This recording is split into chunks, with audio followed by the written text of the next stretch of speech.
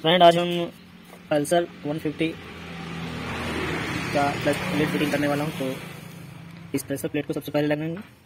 उसके बाद ये स्टील टाइप का है, उसके बाद ये लगाएँगे दोस्तों।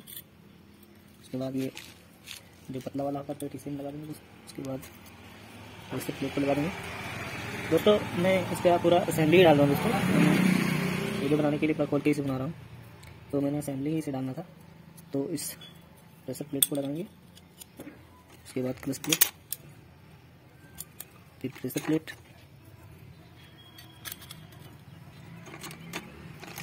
क्लच प्लेट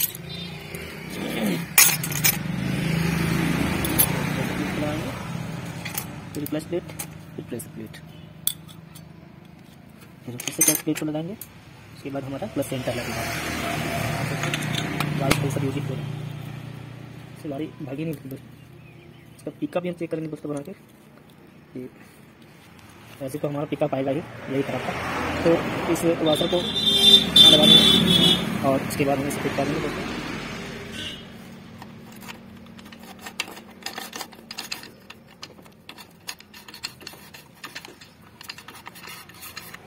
ये है अब हम इसे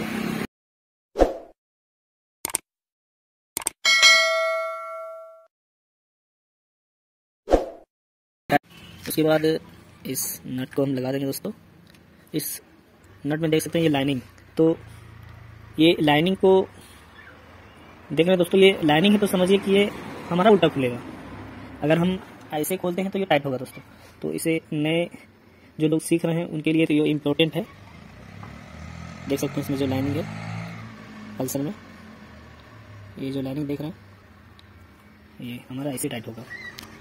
करंट हम इस वाशर को लगा देंगे उसके बाद और इसे हम उल्टा टाइट कर देंगे इसे। यहीं का सिर्फ़ क्लच वाला ही उल्टा होता मतलब ये ही उल्टा हमारा।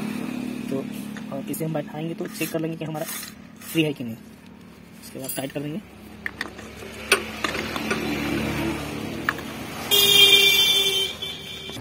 उसके बाद इस कूलर की मदद से टाइट कर देंगे। इसमें पकड़ते हैं इसको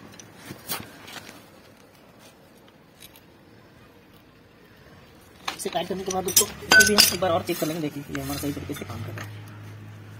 अब हम पाँचों स्क्रीन को लगा देंगे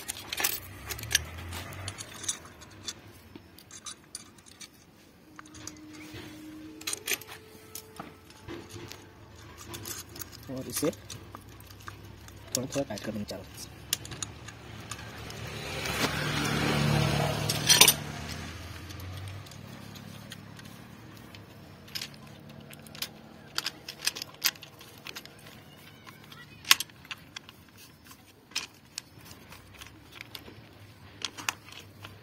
इसे बिठाएँ तो थोड़ा हिला लें दोस्तों, ये बैठ जाएगा अपने आप।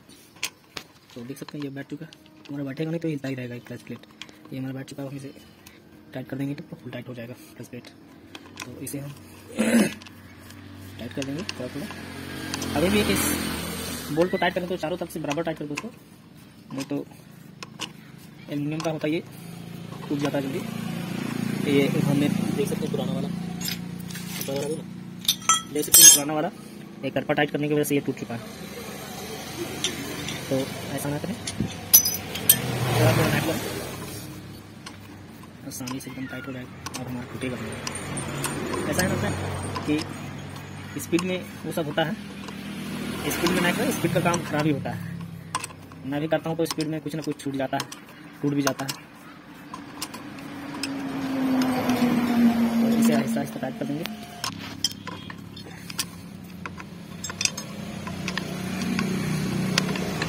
उसके बाद ये हम लगा देंगे, पकड़ो उसको। और इसे हम फुल टाइट कर देंगे।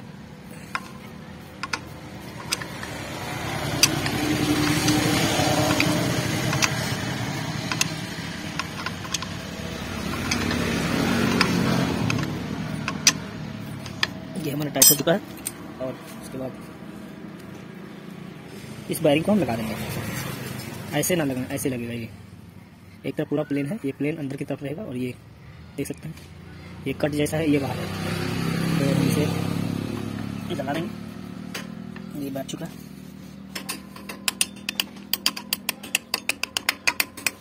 अब हम बैलेंसर को लगा दिए दोस्तों। देख सकते हैं कितना डस्ट है, इसे हम करेंगे क्लीन ये दे सकते हैं।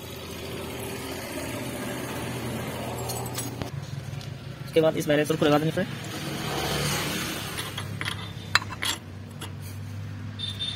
और इसे हम लगा देंगे। यहाँ एक वाइसर भी होता है दोस्तों हमें हमारे पास है नहीं।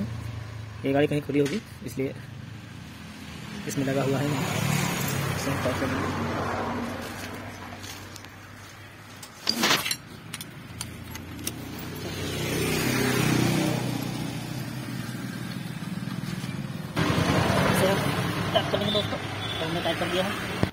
अब हम इस कवर को लगा देंगे दोस्तों। बैलेंस कवर फुल टाइट कर देंगे। दूसरा पिक्चर्स लिखा है।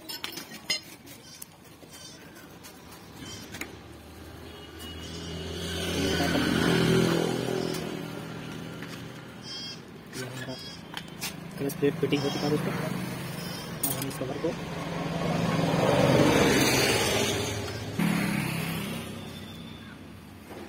फ्रंट इस कटिंग को हम लगा देंगे। अगर हमारा बाइकिंग कटा हुआ है तो नया लगा दें और सही है तो फिर ऐसे लगा दें। तो हमने लगा है। अब लगाएँगे।